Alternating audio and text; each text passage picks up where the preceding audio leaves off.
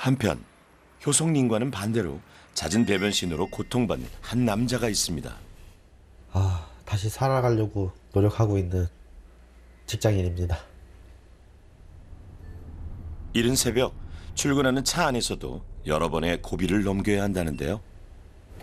지금도 배가 살살 아파가지고 출근이 원래 15분, 20분 거리인데 제가 거의 1시간 정도 미리 출발하거든요. 왜냐면 가다가 배 아프면은 볼일을 또 봐야 되기 때문에 이제 차들 막히거나 그러면은 강도가 세지기 때문에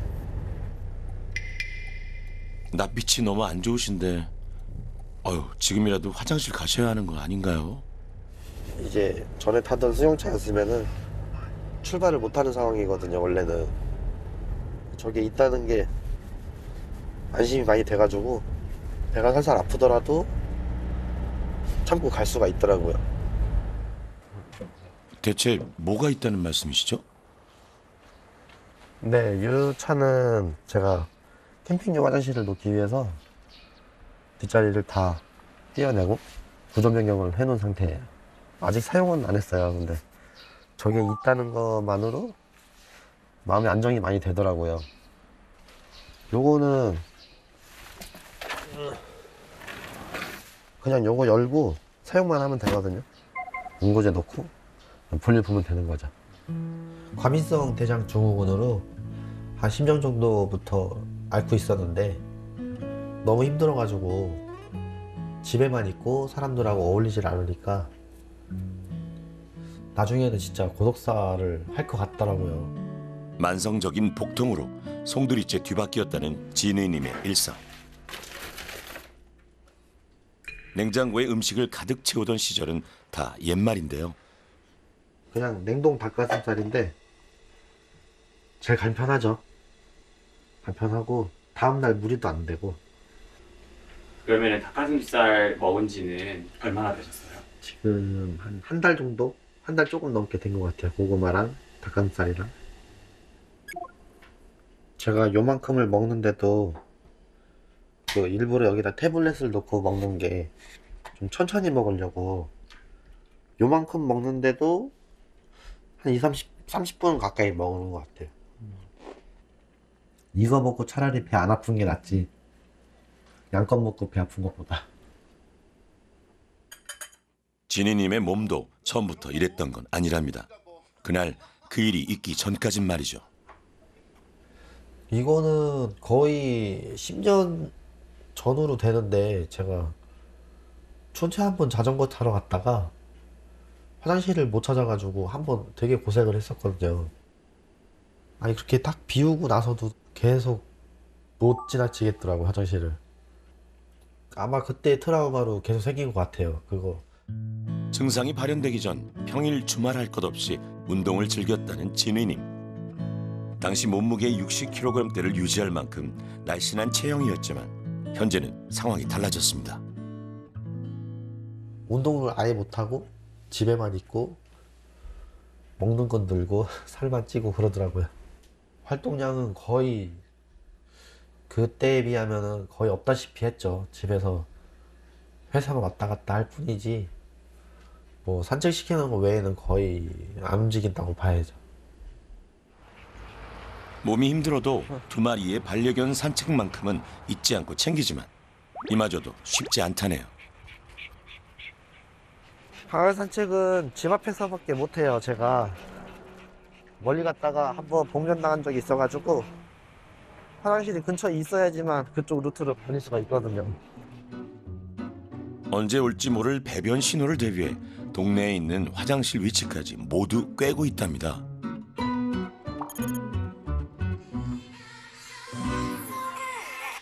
여보세요? 어, 그냥 내일 만나는 거 알지? 내일? 오케이, 알았어. 어? 아, 내일. 내일 만나려면 아 무슨 생각을 그렇게 골똘히 하세요? 이것을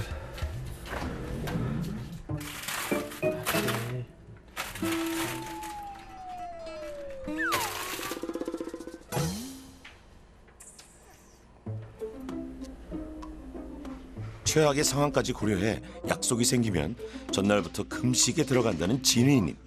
이젠 굶는 게 습관이 됐을 정도죠. 약속 장소에 도착하기 전까지 공복 상태를 유지 중이지만 그것만으로 안심할 수 없다는데요. 지금 무슨 약 드셨어요? 아, 요거는 제가 가지고 다니는 지사제인데 급하게 또 움직이더라도 혹시나 몰라서 그냥 하나씩 먹고 있거든요. 오늘 또 저녁을 먹고 다시 돌아오는 길에 또 불상사가 안 나기를 바라면서 하나 먹은 겁니다. 오늘은 특별히 큰 결심을 했다는 진희님. 자가용 대신 전철을 이용하기로 한 건데요. 아, 더 긴장돼. 입이 막 너무 마르네요. 입이 발싹발싹 말라요? 근데 지금 입도 마르고 긴장.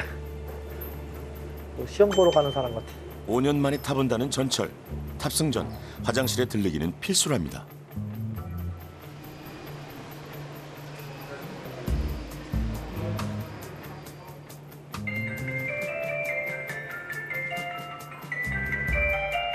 이게 9분 만에 간다는 건가요? 황운대 황운대 가는 열차가 또 10분만 참으면 된다는 거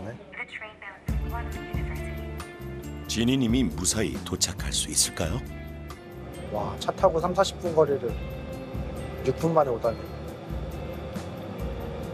다음에는 버스 한번 타봐야죠. 아, 버스는 아, 진짜 큰일 나요. 버스는 아마 어딘지도 모르는 데서 혼자 내려서 막 뛰어갈 수 있어. 화장실이 없는 전철 안에서는 10분이 1시간처럼 느껴진다는데요.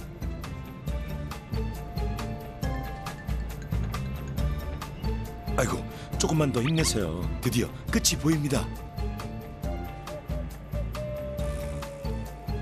네, 화장실을 일단은 들렀다 갔다 와야 될 것 같아요. 눈앞에 있는 화장실 표지판이 이렇게 반가울 수가 없습니다.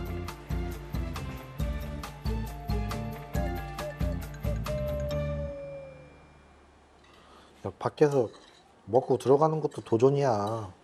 처음엔 이게 거짓말인 줄 알았어요. 그 이제 너무 심하니까 회사에서도 빈번히 있는 일이기에 동료는 누구보다 진희님의 몸 상태를 잘 안다는데요. 이 형이 차를 운전하고 가다가 이제 거의 저희 회사 근처에 이제 김밥집이 하나 있었거든요. 걸로 뛰어 들어간 거예요 화장실을. 그때 이제 다 놀랬죠 사람들이. 와 이거 장난 아니구나. 이게 좀 가라앉거나 아니면은 거기서 충분히 휴식을 취하고서 화장실 한번 갔다 오거나 그러면 출발 가능하지. 그 전에는 안 되더라고요, 그게. 배 아픈 상태가 아니거든, 지금. 오케이. 지금 빨리 가야 돼. 알겠어 알겠어.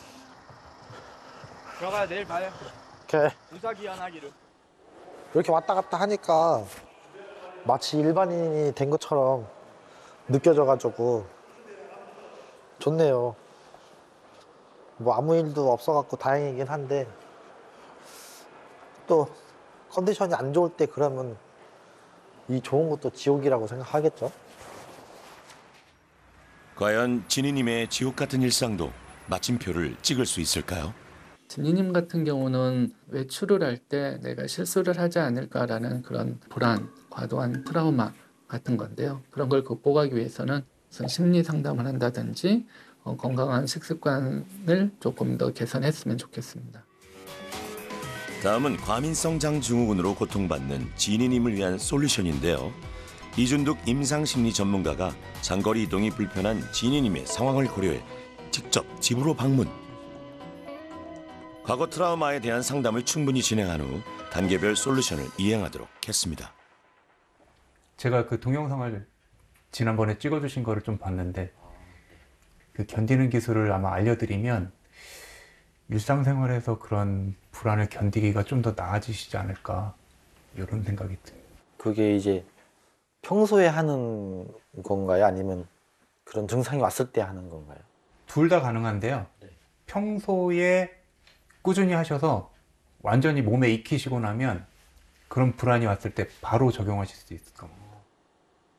무조건 해야죠, 그러면. 예. 네. 이게 이제 저희가 배울 훈련들인데 아, 네. 점진적 근이완 훈련이라는 게 있고요. 네. 호흡 훈련이라는 게 있고 체계적인 노출 이것도 하나의 훈련법인데요. 이 훈련을 통해서 점진적으로 생활 전반의 불안을 줄여나가는 겁니다. 불안이라고 하면 크게 세 가지로 구성이 돼요.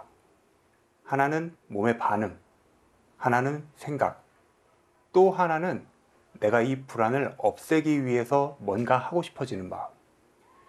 이 세 가지 요소 중에 하나만 사라져도 불안은 자연스럽게 흩어지게 됩니다.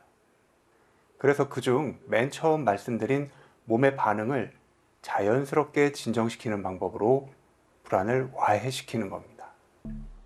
아까 제가 말씀드린 점진적 근이완법을 알려드릴 거고요. 네. 자, 손은 여기 이렇게 예, 허벅지 위에 올리시면 되고요. 눈을 감으시는 게 아마 좀 처음엔 편하실 거예요. 왜냐면 몸의 느낌을 느끼셔야 되거든요. 오른발에 힘을 꽉 줬다가 넷까지 센 다음에 다시 힘을 뺄게요. 자, 준비하시고 힘을 주세요. 발가락을 확 이렇게 오므리셔도 됩니다. 네. 하나, 둘, 셋, 넷. 자, 이제 풀어주세요. 자, 그럼 이번에 왼발로 해볼게요. 자, 왼발에 힘을 꽉 줘보세요. 하나, 둘, 셋, 넷. 자, 힘을 천천히 풀어보십시오. 자, 근육이 느슨해진 게 느껴지시나요? 음, 네. 아, 잘 됐습니다. 그 느낌을 잘 기억해 두세요.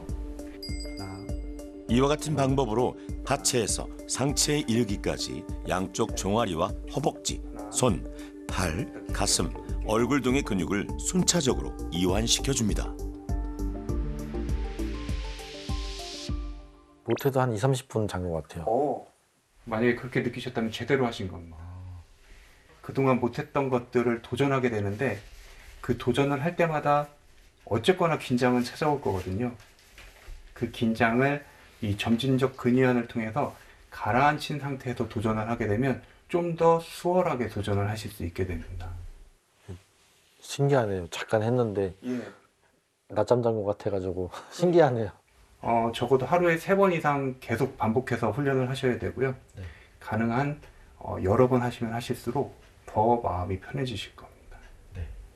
긴장이 돼 있을 때, 불안을 느낄 때 우리가 대체로 근육을 긴장시키죠.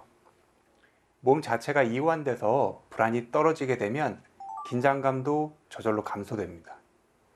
느리게 하면 느리게 할수록 좋은 훈련법이기 때문에 빨리 해서 빨리 마무리 짓겠다라고 마음을 먹는 순간부터 효과가 떨어져요.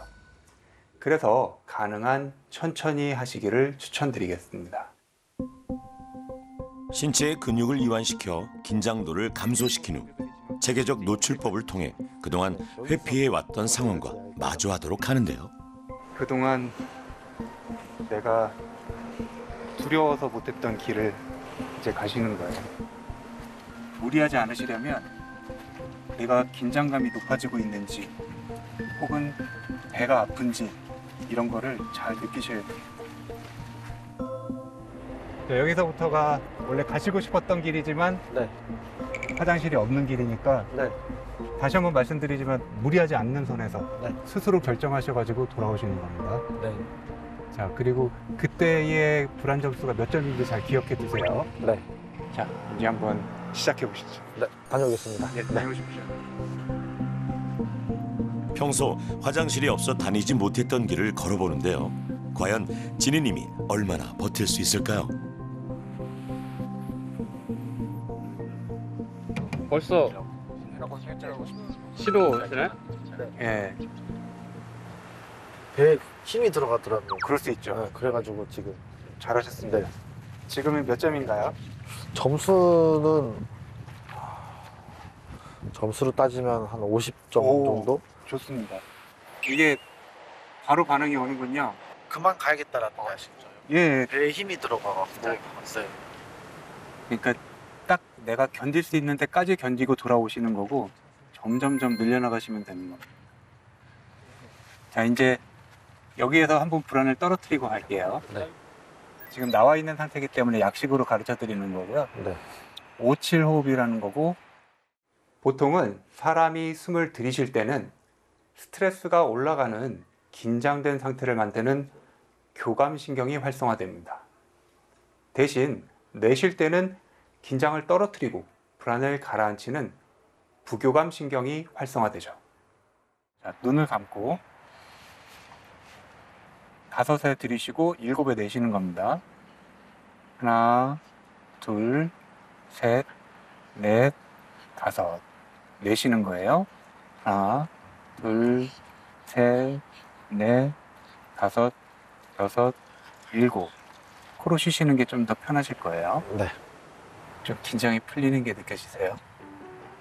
이게 예, 시작할 때는 예. 아 그냥 빨리 돌아가야지. 예, 돌아가는 게 편하지 않나라는 생각을 했는데 예. 점점점 계속 줄어드는 느낌은 조금씩 있어요. 어, 지금은 몇 점 정도 될까요? 지금 한 40? 40 정도? 네. 좋습니다. 저희가 오늘 제대로 된 훈련은 저기서부터 여기까지 오는 이 정도 거리입니다. 아, 호흡을 통해서 10 정도의 불안을 다운시킨 거죠. 이거를 계속 반복하시면 돼요. 첫 도전으로서 굉장히 힘든 도전을 해내셨고 고생 많으셨습니다. 아, 네. 이만큼 성공하셨어요. 이거밖에 못한 게 아니라 이만큼 성공하신 거죠. 차근차근 나아가다 보면 잃어버렸던 일상의 기쁨도 조금씩 되찾는 날이 오겠죠?